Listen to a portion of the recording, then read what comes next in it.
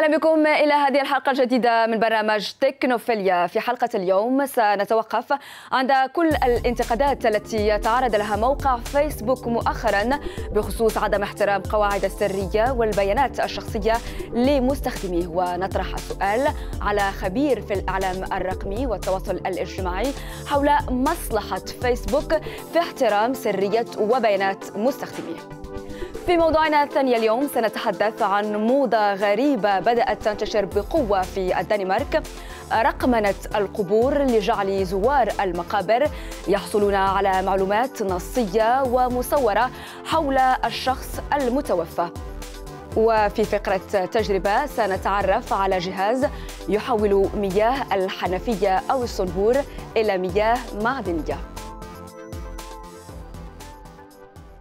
الانتقادات بخصوص عدم احترام السرية والبيانات الشخصية للمستخدمين تنهال على فيسبوك من كل جهة مؤخرا المفوضية الأوروبية انضمت إلى صف المنتقدين معلنة أن فيسبوك لا يحترم بشكل كاف متطلبات الاتحاد الأوروبي على صعيد السرية واحترام حقوق المستخدمين. في السابق فيسبوك كان يحاول في كل مرة القول إنه سيبذل مجهودات أكبر في هذا الإطار لكن إدارة فيسبوك أعلنت مؤخرا أنه على من لا يتفق مع سياسة الموقع أن يغادره معنا الآن من دبي الخبير في الإعلام الرقمي والتواصل الاجتماعي الأستاذ أيمن عيتاني. شكرا جزيلا لحضورك معنا في هذه الحلقة. نود بداية أن نعرف منك مضمون وطبيعة هذه الانتقادات الأخيرة التي وجهت للفيسبوك سواء في ألمانيا من خلال المحاكمة التي أو الدعوة التي تعرض لها فيسبوك وأيضا من قبل المفوضية الأوروبية فيما يخص السرية واحترامات البيانات. المعلومات الشخصية تبعونا لما نحن بنحط على الإنترنت هذا الموضوع عمره حوالي 12 سنة. القوانين الموجودة معمولة لحتى تحمي الأشخاص وتحمي خصوصيتهم. بس التقنيات بآخر 12 سنة مشت كثير أسرع ونحن نفسيا صرنا مرتاحين أكثر نشارك هالمعلومات. فالقوانين عم بتجرب هلأ إنه تلعب دور لتحمي الاشخاص فيها. من هيك عم نشوف في فرق كثير بين مؤسسات مثل فيسبوك وجوجل وتويتر وغيرها والقوانين الموجودة. وبنلاحظ كان بأوروبا وخاصة بألمانيا عم بيكون في وضوح أكثر من عن عن طريق القانون بالمتطلبات القانونية. وهن عم بيلعبوا دور أكبر بإنه يكون يشتغلوا مع هذه المؤسسات لحتى يكون في تفعيل لحماية الخصوصية. آه ونحن بعد هال بعد هالقوانين صارت موجودة. بتشوف إنه فيسبوك عم بكل التطبيقات تبعولها عم عم تبعث رسائل خاصة.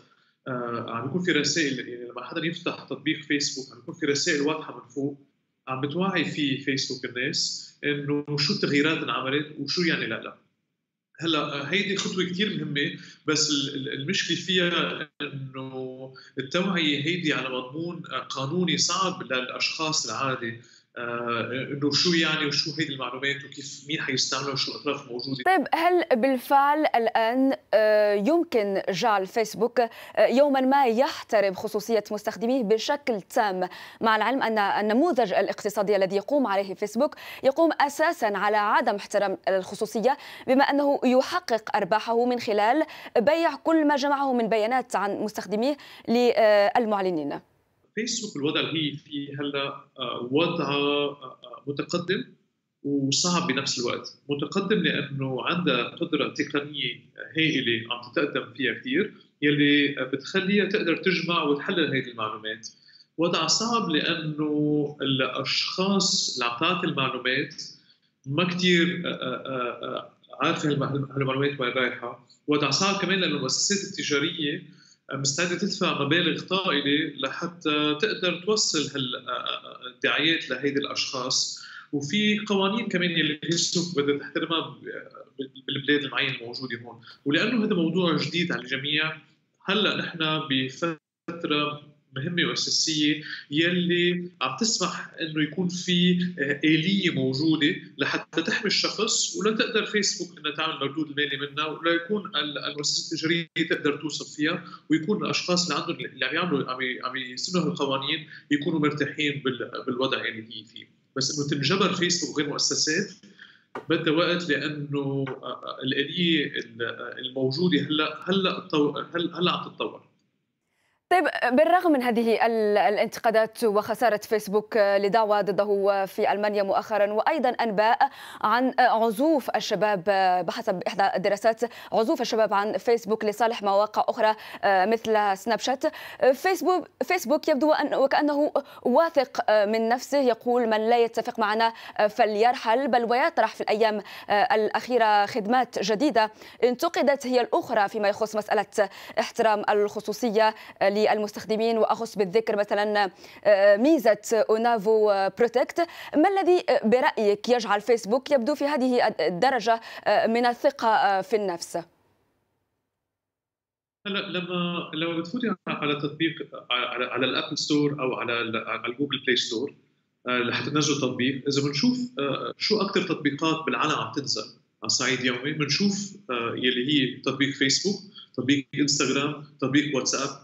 هون من من أكثر شيء ناس عم تنزلها وهون ثلاث تطبيقات كلهم من عائلة وحدة اللي هي عائلة فيسبوك يعني فيسبوك تملكهم كلهم هون. ف كل الأشخاص كل اللي على الإنترنت عم يستعملوا قسم من يعني واحد من هالتطبيقات خاصة الواتساب. ففيسبوك هو أكثر شيء عم بيكون عنده قدرة بالتطبيقات أكثر من غير التطبيقات. هي من جهة. من جهة ثانية إذا بنشوف المردود المالي اللي عندهم اياه فيسبوك عم يكون صافي أرباحهم كل آه، ثلاثة أشهر ب 3 مليارات. آه، هذا صافي الأرباح مع كل مع كل التكاليف وكل هالمكاتب وكل هالتقنيات الموجودة. آه، عم يفوق 3 مليارات كل ثلاثة أشهر. ففيسبوك والعائلة تبع الفيسبوك وضعهم كثير قوي اليوم. نعم شكرا جزيلا لك الخبير في الإعلام الرقمي والتواصل الاجتماعي الأستاذ أيمن نايتاني وكنت معنا من دبي.